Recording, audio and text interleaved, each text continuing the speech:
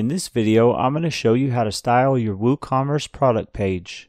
With the Jupiter X Shop Customizer, you have an easy way to customize your shop without having to edit any code. The product page section provides you with multiple templates for your page layout that you can customize.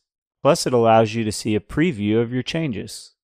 But before you can begin styling your shop, you need to first install and activate WooCommerce from the plugin section of the Jupiter X control panel here.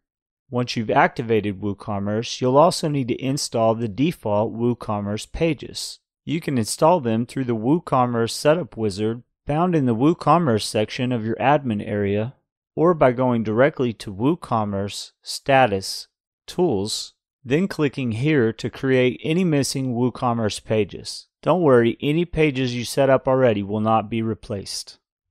If you've done all this, you can now customize your WooCommerce product page in Jupiter X. To do this, let's go to a single product page so we can see how our changes are going to look as we edit. On your website, go to your product page.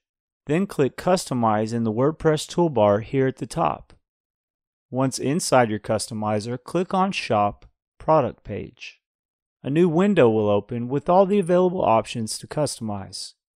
First, take a look at the template section layout options and choose which layout looks best to you.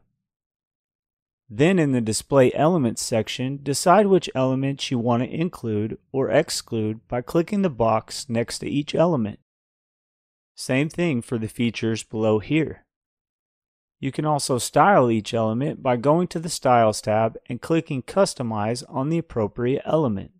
For example, to change the color of the product's title to red, I would click Name, then here to edit the color, just like this. Once I'm happy with my design, I just need to click Publish to make it live. That should do it. Thanks for watching. Cheers.